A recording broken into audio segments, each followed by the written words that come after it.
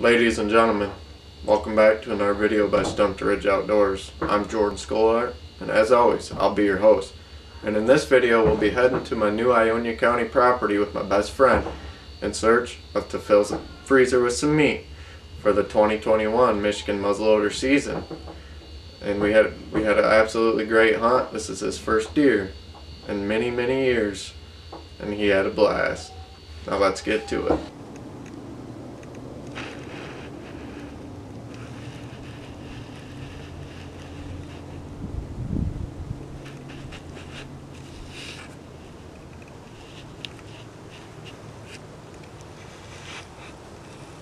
You gonna shoot one today? Oh yeah, let's get it done, Bob.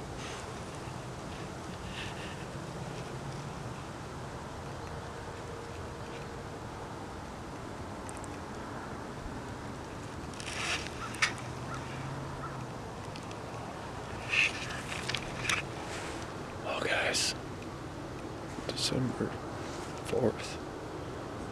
We already seen three does. We're on this bottom over here. There's a golf across from us. They really like that, so some power lines, some hardwoods up top. We'll see what happens.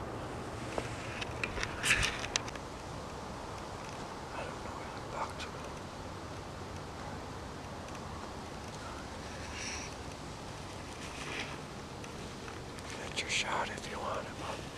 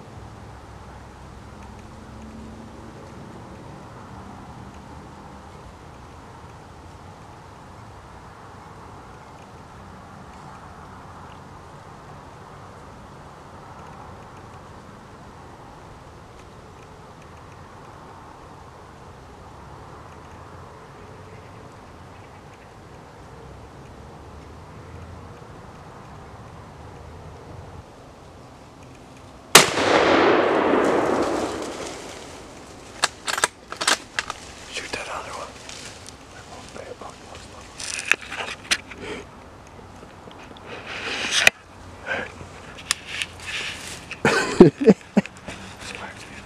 was just waiting her to take the last couple steps, bro. Hey, you can talk now. Oh, yeah. Just got the first deer of the year, 2021.